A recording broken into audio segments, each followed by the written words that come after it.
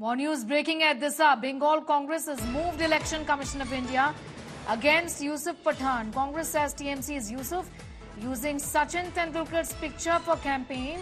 ICC World Cup winning picks for campaign. TMC is Yusuf to face Congress's Adhir Ranjan Chaudhary in Behrampur. The complaint reads as follows. Yusuf Pathan started using banners and posters and photos in different places in the said constituency which clearly depict the ICC Cricket World Cup 2011 winning squad and winning moments where the photos of our nation's high-profile cricket celebrities are there, including that of Bharat Ratna, Sri Sachin Tendulkar and others. Suryagni is getting asked more details on that. Suryagni, just talk to us about the violation here essentially.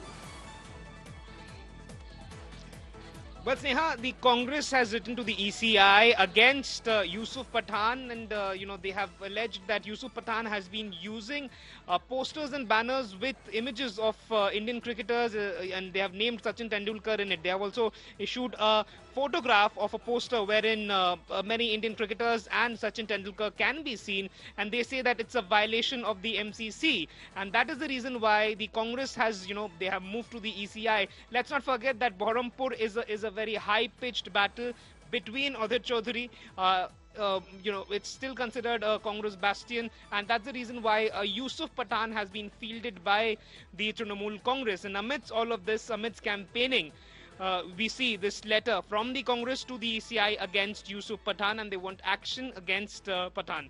Back to you, Sneha. Roy getting us those details. I'm going to thank you for the moment for getting us up to speed with that.